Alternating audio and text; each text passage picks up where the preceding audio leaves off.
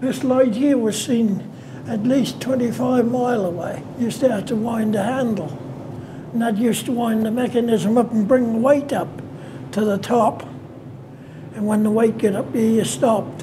And then the weight used to drag down slowly and keep this just turning. And we always used to have to keep eye on this bloody thing too. Because if it stopped, somebody would be after you from Stanley. Why is the light stopped? This lighthouse was put here for a purpose. These bloody rocks out here.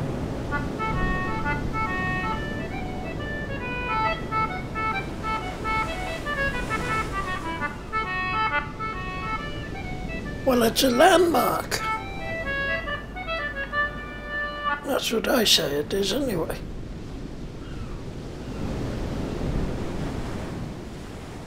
It was good down here, but not, not so good once old Basil got here. But before he got here, it used to be a lovely place. There was me, Basil, and uh, Red Sylvie was the three main keepers. Oh, he wasn't allowed to have a cow here. He wasn't even allowed to have a gun down here. Because he'd have you bloody shot or chucked out if he did. no, he wasn't even allowed a radio down here. Me and uh, Red Sylvie, we had radios down here. Because we used to talk to different parts of the world. But in Basil, come, we used to have to stow it away. Chuck a bedding over it roughly, so it was all humped up looking. You wouldn't know what was there, man. Because I put an aerial up on that bed, that hump there one day. What's that bloody thing doing up there? You better take that down. That's when the days was good here then.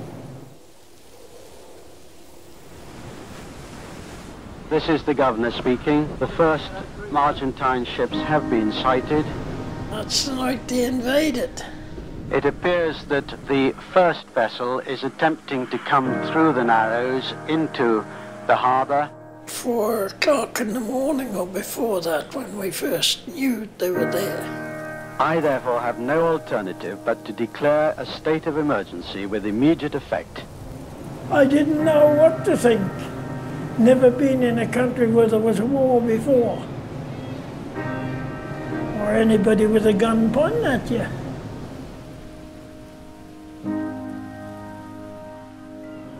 Marines was here the night before. I said, there's something on, ain't there? They said, why? Well, I said, you fellas is all loaded up with ammunition. Guns, I said, and everything. I said, there's something wrong with them. I said, bloody Argies must be somewhere, are they? They said, well, we, we can't tell you anything. I said, well, I know there's something wrong. Anybody would know when you see the bloody gun with ammunition in it. And a couple of nights after that, we were living here again. Me and old Basil, they bust in one night. Come in here, and I said, what are you looking for? We want to know, only you two here. And we said, yeah, there's only two here. Where's the rest of the Marines? Oh, I don't know, we never seen them. Oh, they come up here and a look around here. Want to know how it worked and all the ins and outs of it. Because the Argies never done a thing. It was after, after that the damage got done. That was the storeroom combined generator in there. This was a wall here, a wall right up to the middle. Well, there was a bedroom here, bedroom here, passage right across there. Our uh, bathroom was here. Bathroom and loo was here.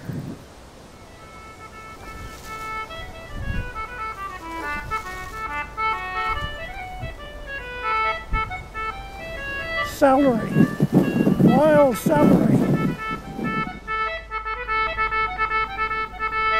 We thought that it might have got going again, but no, it never, because it was a landmark, wasn't it? a landmark here in our islands.